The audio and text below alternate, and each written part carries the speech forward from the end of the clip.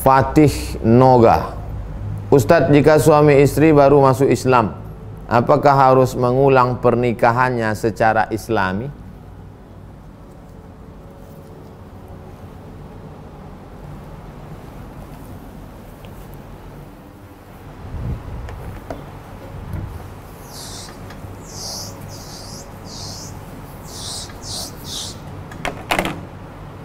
Suami istri sama-sama masuk Islam maka pernikahan tak perlu diulang. Kasus pertama. Serentak. Kasus dua. Suami masuk Islam istri belum masuk Islam. Maka menurut mazhab syafi'i istri tak masuk Islam ini serentak maka tak perlu akad. Ulang. Tak ada sahabat Nabi mengulangkan akad mereka dulu.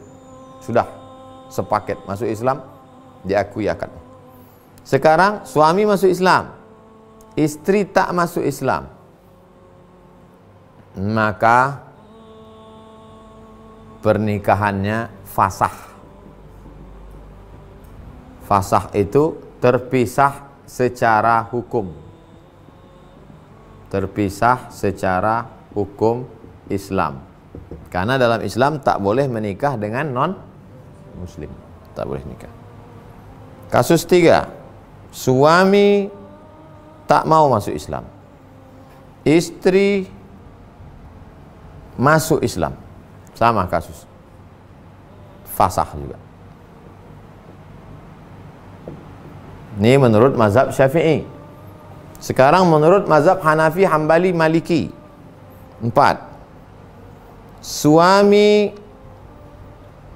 masuk Islam. Istri tidak masuk Islam. Tapi agama si istri Yahudi atau Nasrani. Maka tidak fasah. Karena menurut mazhab Hanafi, Hambali, Maliki, Yahudi atau Nasrani menikah dengan Islam? Boleh.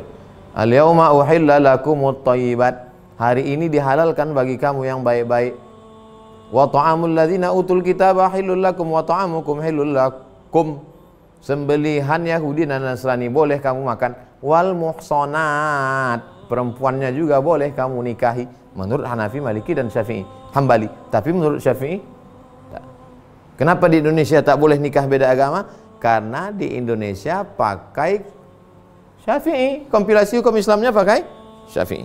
Kasus kelima. Suami masuk Islam. Istri tak masuk Islam. Tapi agama si istri bukan Yahudi, bukan Nasrani. Apa tuh Pak Ustadz? Meneketehe.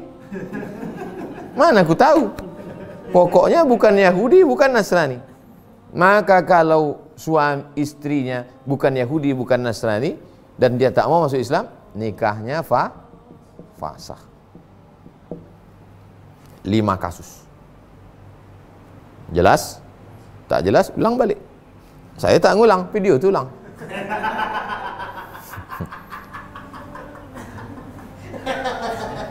Begitu dia. Gitu dia bapak-bapak, ibu-ibu. Habis pertanyaan tadi. Habis itu gaji kita malam ni. Mudah-mudahan manfaat. Kita tutup dengan baca doa kafaratul majlis. Subhanakallahumma bihamdika asyhadu an la ilaha illa anta astaghfiruka wa atubu ilaih. Wa sallallahu ala sayyidina Muhammad wa ala alihi wa sahbihi wasallam. Walhamdulillah rabbil alamin. Assalamualaikum warahmatullahi